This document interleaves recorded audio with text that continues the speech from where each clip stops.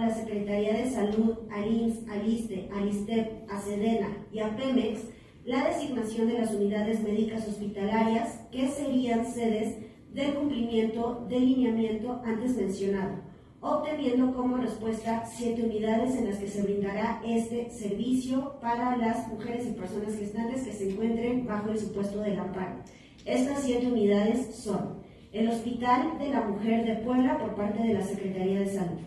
la Clínica Hospital de Tehuacán por parte del ISTE, la Clínica Hospital de Teciutlán por parte del ISTE, la Clínica Hospital de Huauchinango por parte del ISTE,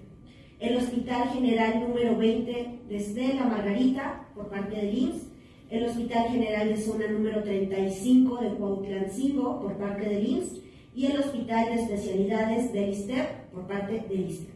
A continuación, cedo el uso de la voz a